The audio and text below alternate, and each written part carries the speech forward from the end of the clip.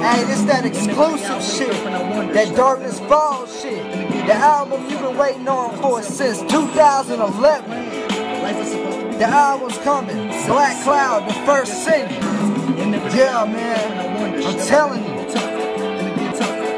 Man, I did this shit back in 2013, in November 2013. And now, the album, man,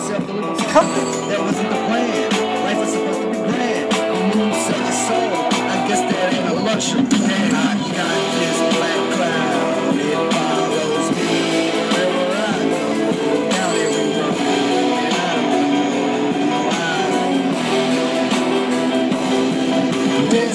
black cloud is over me.